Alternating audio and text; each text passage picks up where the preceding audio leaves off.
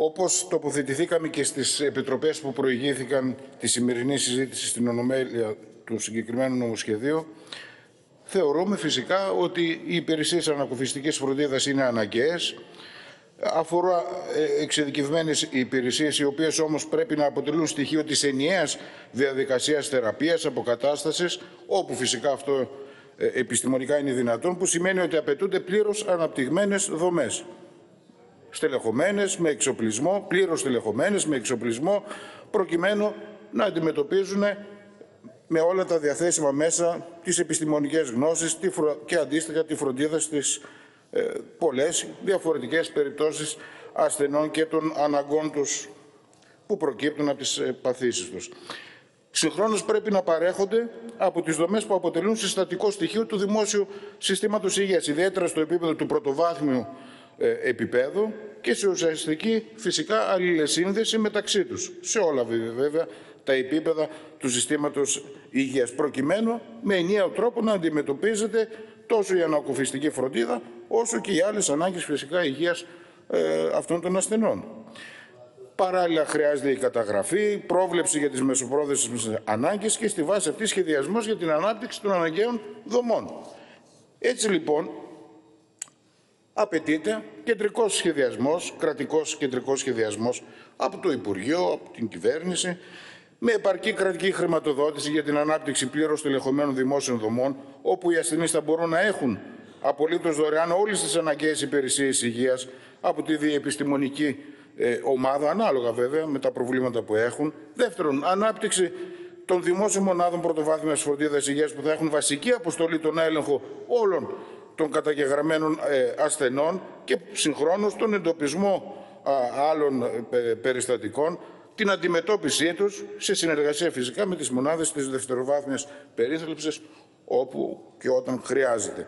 Τρίτον, προσλήψεις του αναγκαίου υγειονομικού προσωπικού όλων των αναγκαίων ειδικοτήτων, πλήρους και αποκλειστικής απασχόλησης, προκειμένου να αντιμετωπιστούν τόσο οι γενικές όσο και οι πρόσθετες ανάγκες αυτών των ασθενών.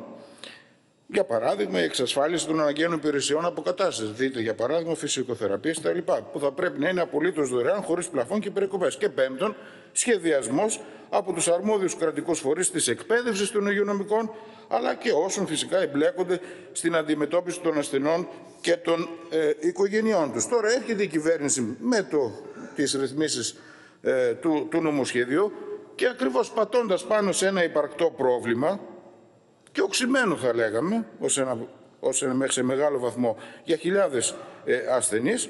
Και μέσω των συγκεκριμένων ρυθμίσεων του νομοσχεδίου που φυσικά αντιστοιχούν στη βασική της πολιτική κατεύθυνση και πολιτική που υλοποιεί που αντί το κράτος να σχεδιάζει και να αναπτύσσει τις αναγκαίες δομές και υπηρεσίες ανακοφιστικής φροντίδας, περιορίζει την ευθύνη, στη την ευθύνη στην δημιουργία ενός πλαισίου λειτουργίας. Αυτό που ακούσαμε και εισηγητικά και γράφεται και μέσα στις, στο νομοσχέδιο. Και με κριτήριο βασικό Ποιο, το να μην επιβαρυνθεί στο ελάχιστο κρατικός προπολογισμό. Έτσι, για παράδειγμα, πρώτον, αναθέτει την παροχή ανακοφιστική φροντίδας στην παντός είδο πρωτοβουλία του ιδιωτικού τομέα, κοινοφιλή ιδρύματα, νομικά πρόσωπα δημοσίου ιδιωτικού δικαίου, κερδοσκοπικού ή μη χαρακτήρα και ενώσεις προσώπων μη κερδοσκοπικού αντίστοιχα χαρακτήρα. Μια πανσπερμία λοιπόν δομών. Αυτό σημαίνει ότι ακριβώς αυτή η υπαρκτή ανάγκη, λαϊκή ανάγκη, για ανακουβιστική φροντίδα εν προκειμένου, δεν διασφαλίζει το κράτος, η κυβέρνηση, το νομοσχέδιο, αν θέλετε, την ικανοποίησή της.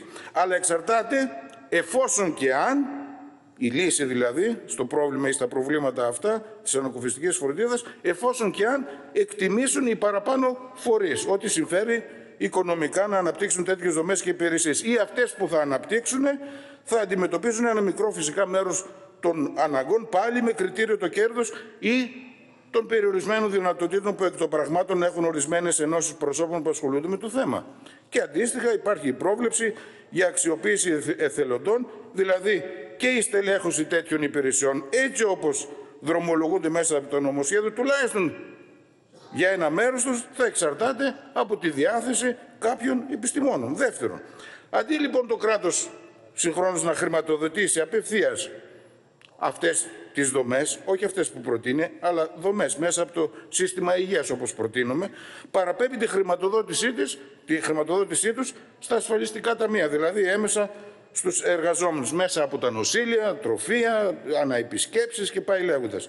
Και μάλιστα αναφέρει τη δυνατότητα σύναψης σύμβασης των ασφαλιστικών ταμείων σύμφωνα με τους κανόνες των παροχών τους, που σημαίνει ότι ακόμα και έτσι ούτε διασφαλίζεται η κάλυψη ε, των αναγκών, αλλά συγχρόνως ανοίγει το δρόμο των επιπλέον πληρωμών ή αν θέλετε συμπληρωμών από τους ασφαλισμένους για να έχουν κάποιες υπηρεσίες. Και τρίτον, η αναφορά για ανάπτυξη τέτοιων υπηρεσιών από το δημόσιο σύστημα, που και αυτό υπάρχει στις, ε, στο, στο νομοσχέδιο, η αναφορά η σχετική. Εδώ τώρα μιλάμε για σχέτη υποκρισία.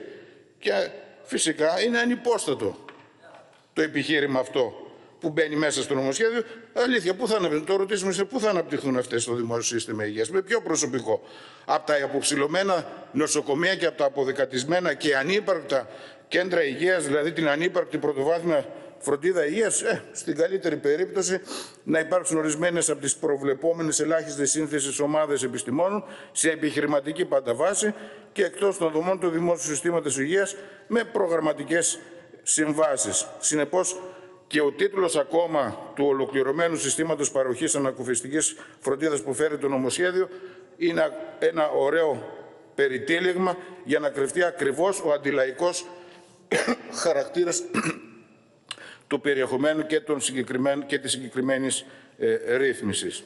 Ε, σε ό,τι αφορά τα υπόλοιπα άρθρα αρμοδιότητας του Υπουργείου Υγείας που αφορούν χρονικές παρατάσεις προηγούμενων ε, ρυθμίσεων, ε, με αυτά τα πρόσθετα μέτρα ουσιαστικά δεν προστίθεται προσωπικό στις δημόσιες μονάδες υγείας, αλλά ξανά προσλαμβάνονται οι επικορικοί των οποίων λύγει η σύμβασή τους, άλλοι υγειονομικοί με τετράμινη συμβάση που ξανά προσλαμβάνονται μέσω της ανανέωσης της σύμβασης, προσλαμβάνονται συνταξιούχοι γιατροί, ενώ εφαρμόζεται το σύστημα των μετακινήσεων των εργαζομένων όλων των κλάδων και ειδικοτήτων από τις υποστελεχωμένες μονάδες που εργάζονται σε άλλες που είναι ακόμα περισσότερο υποστελεχωμένες. Δηλαδή πάει να καλύψει μια τρύπα ανοίγοντας άλλες αλλού.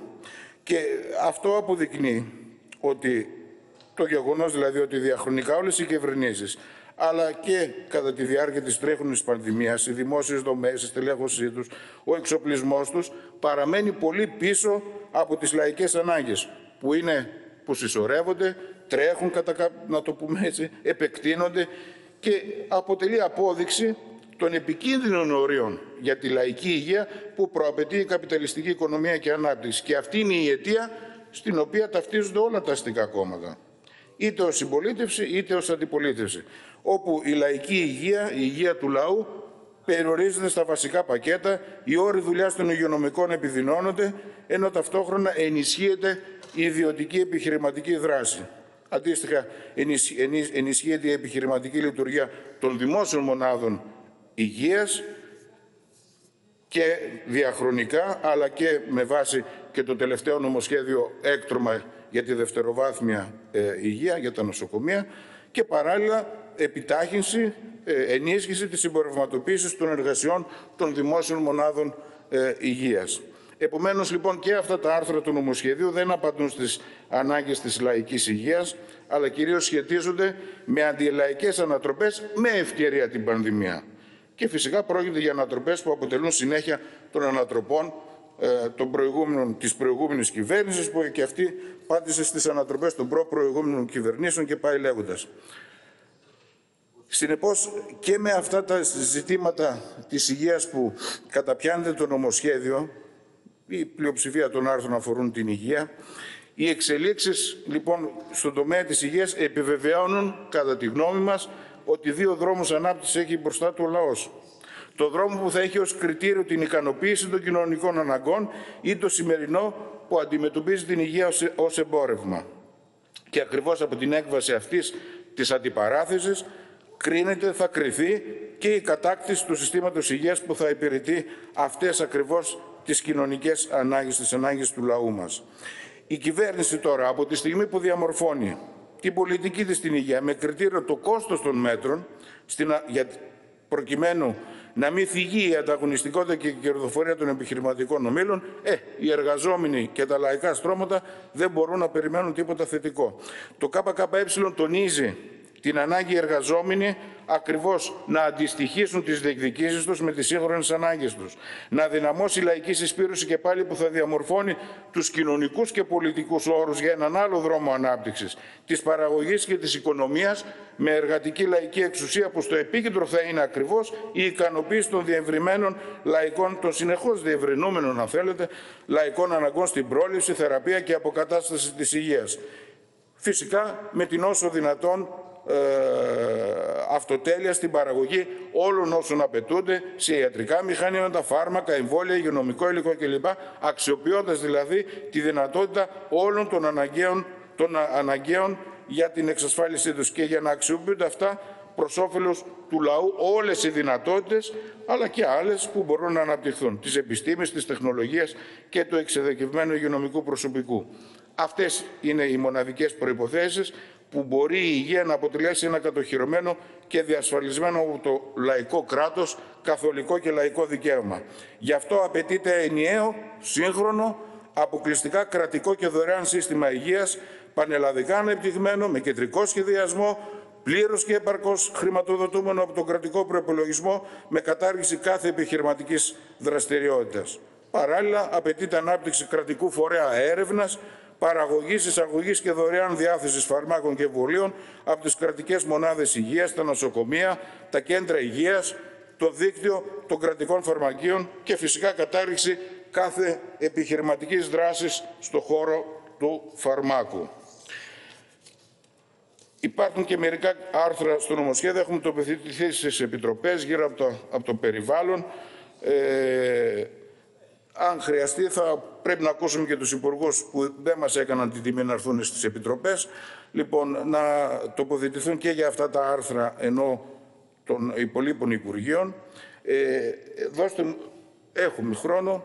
Ε, με αφορμή την τροπολογία που αφορά το, πώς το είπατε, market pass, καλά το λέω, δηλαδή τα κουπόνια φαγητού τα οποία έρχονται σε συνέχεια με τα περίφημα καλάθια.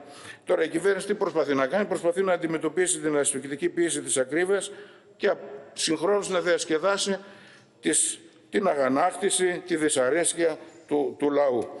Πρόκειται για μία από τα ίδια, καμία ουσιαστική ανακούφιση για το λαό που έχει μειώσει πως και 50% τις αγορές από τα σούπερ μάρκετ, ενώ κατά 67% έχει μειώσει τις αγορές βασικών ειδών.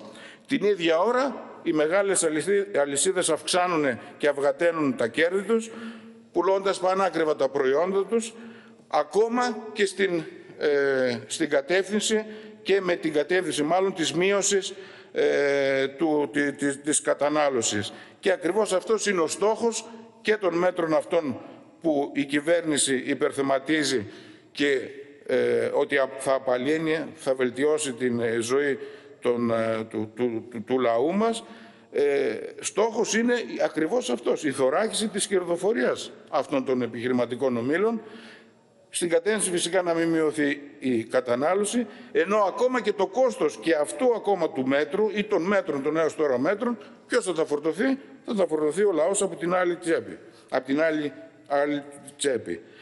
Και αφού η αφέμαξή του είναι αυτή που χρηματοδοτεί τα υπέροδα κέρδη ακόμα και των δηληστηρίων. Έτσι λοιπόν τα μέτρα, το μέτρο, τα μέτρα στο, δεν φύγουν στο ελάχιστο τους μηχανισμούς και τις αιτίες της ακρίβειας και την ίδια ώρα η κυβέρνηση απορρίπτει προκλητικά και στο όνομα των δημοσιονομικών στόχων το δίκαιο αίτημα για κατάργηση του ΦΠΑ στα είδη πλατιάς κατανάλωσης, γενναία μείωση στις τιμές στις τιμές τους και, το, και, και πλαφών και επειδή τα μέτρα που διεκδικούν συνδικάτα και φορείς για κατάργηση του ΦΠΑ, των ειδικών φόρων στα καύσιμα, την επαναφορά του 13ου και 14ου μισθού ε, και των συντάξεων, αντίστοιχα οι αυξήσεις στους μισθούς και στις συντάξεις μπορούν ακριβώς να δώσουν ανάσα στο λαό, να τον ανακουφίσουν. Ε, ακριβώς αυτά τα μέτρα επαναφέρει το Κομμουνιστικό Κόμμα Ελλάδας με τις δύο τροπολογίες που επανακαταθέτει σήμερα.